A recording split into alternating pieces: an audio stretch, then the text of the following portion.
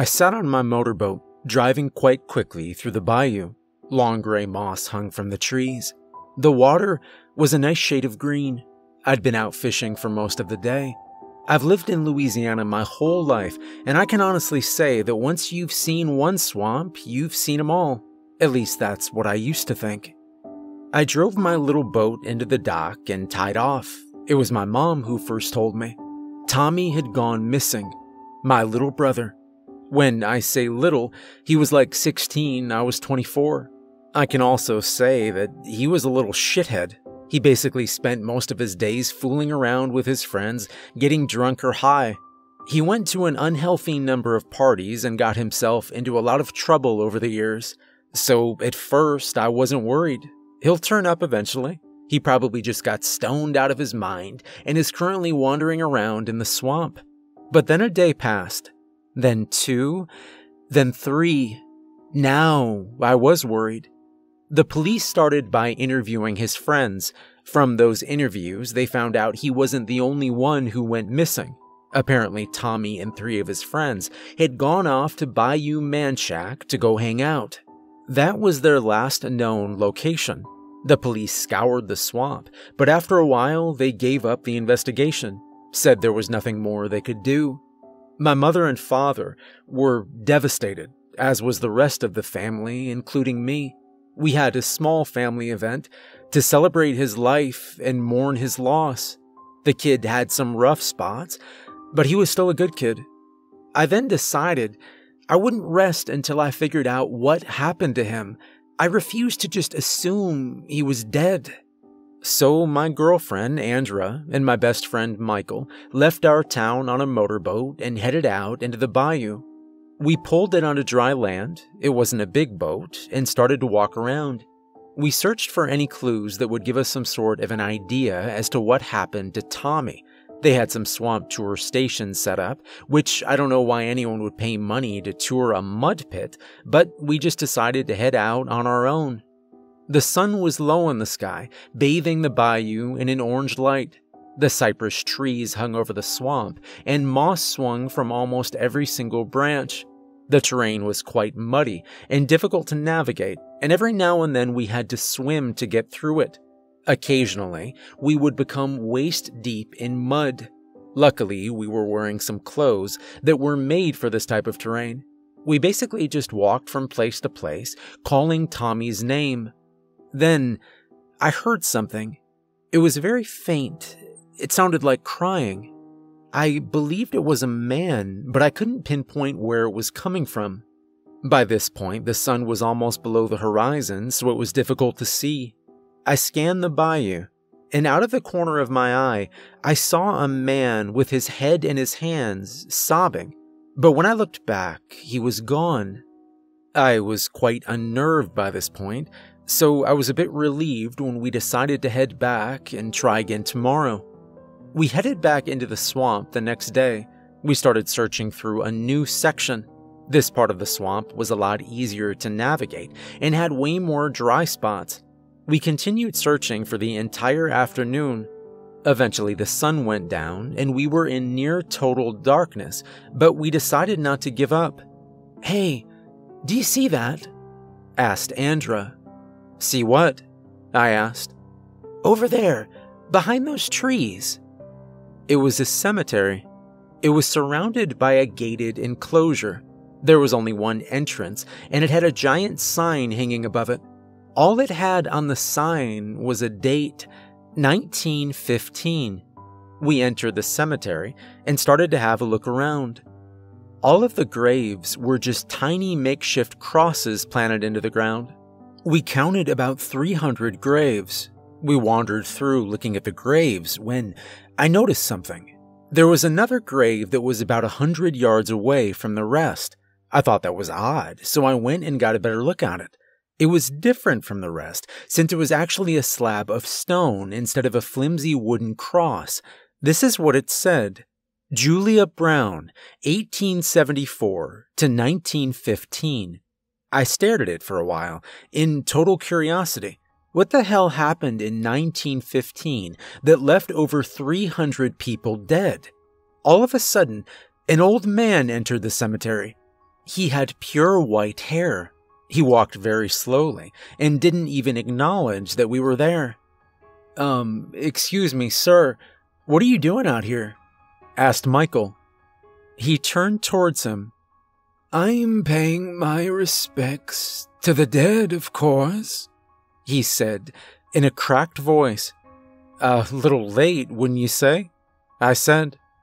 He didn't respond to us. He just sat in front of one of the graves and stared at it. I figured that he probably knew a thing or two about this gravesite, so I thought I'd ask him some questions. Uh, so what's the deal with the sign that says 1915? I asked. He didn't look up from the grave when he responded, That's when everyone here died, he said in a matter of fact way. What happened in 1915? Michael asked. Hurricane, a big one, swept through New Orleans as well as the surrounding areas. It was awful.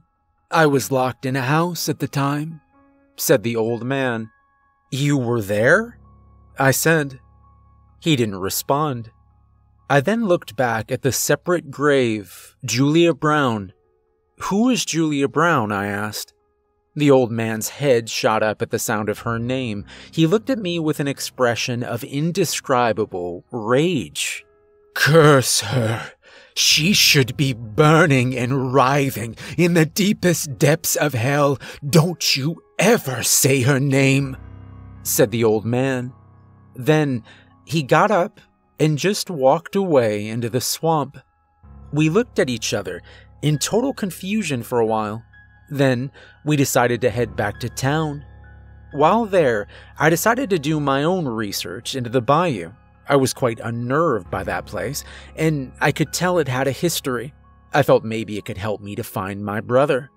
Apparently, before 1915, Bayou Manchac was home to a small community called Frenier.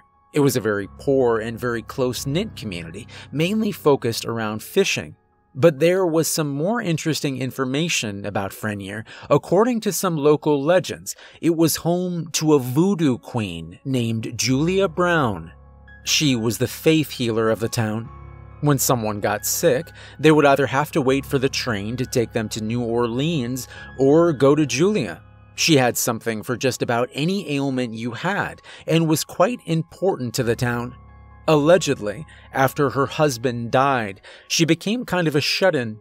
She only stayed in her house and became very judgmental of people. She then started to reveal other powers. She was starting to predict people's deaths. She also started to predict floods that wiped out several other towns. The three of us began our trek into the bayou yet again. We wandered around in the mud and muck for several hours, and then I stepped on something. It felt very soft. I pulled it up and was disgusted by what I saw. It was a body.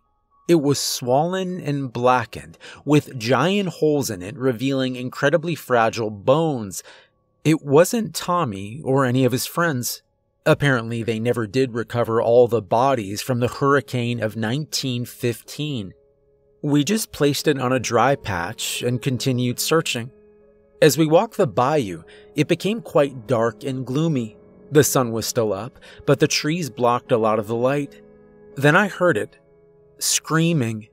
There was a terror in that voice that I've never heard before. It was continuous. It was clearly female. We ran to where it was coming from, and I saw something hanging from a tree. It appeared like just a dark object at first, until we got closer. It was the body of a dead woman. It was mostly a skeleton, with just a few fragments of rotting flesh clinging to it. It had a white dress on. The screams were coming from the body, but it wasn't moving. Then it stopped. We stared at the body in silence for a while. There wasn't a single other noise besides our breathing in that bayou. Then I heard a splash of water behind us. I looked back, and it was the old man. That was Mrs. Bolger. She drowned trying to climb that tree. Poor woman, said the old man. What the hell's going on here? I asked. Well, this bayou has always been a dark place, at least after the hurricane. But it was your brother that stirred up something he shouldn't have, said the old man. I just stared at him for a few seconds, and then I asked, What did he do? That wicked woman, evil piece of barely human refuse, your brother and his friends tried to summon her. They thought it was a joke. She thought otherwise. Where is he? He and his friends are in her cabin, out by the old ruins of Frenier. What did Julia do to this place? I don't understand. That cursed woman.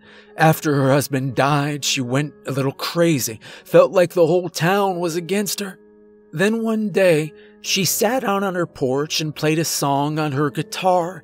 It was called When I Die, I'm gonna take this whole town with me. Sure enough, when they put that last nail in her coffin, the storm blew through, destroyed everything. What is she gonna do to my brother? Probably kill him. Eventually.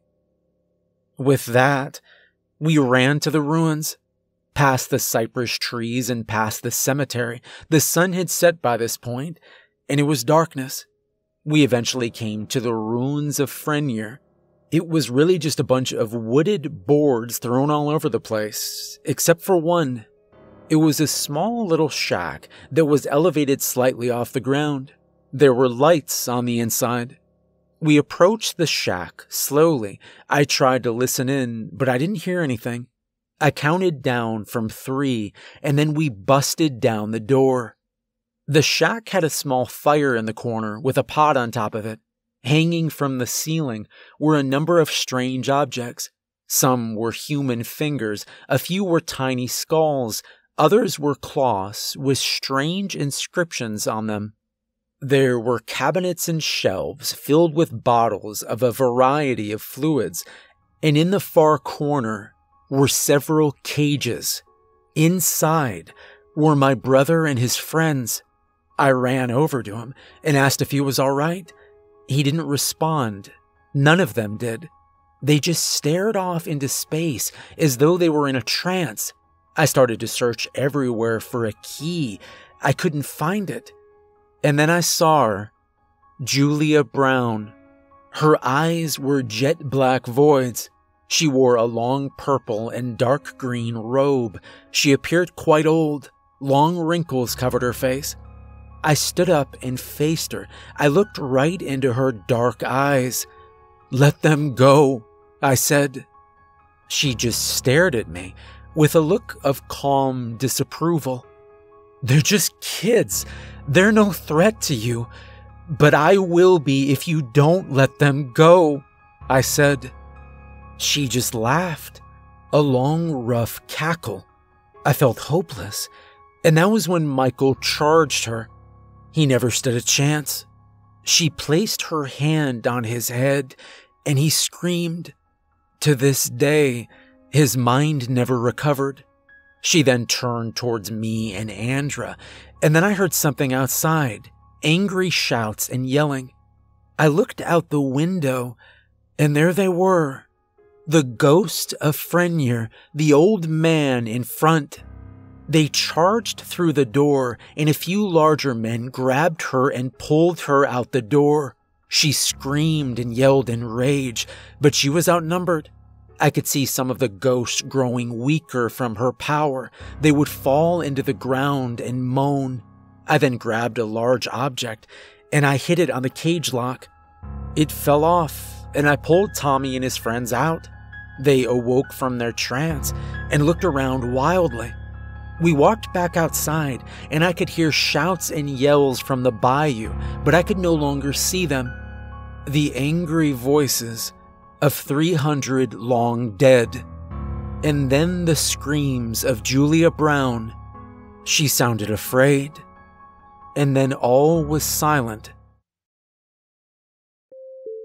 I don't know what happened to Julia Brown or why the ghost suddenly managed to work up the strength to challenge her rule over the bayou.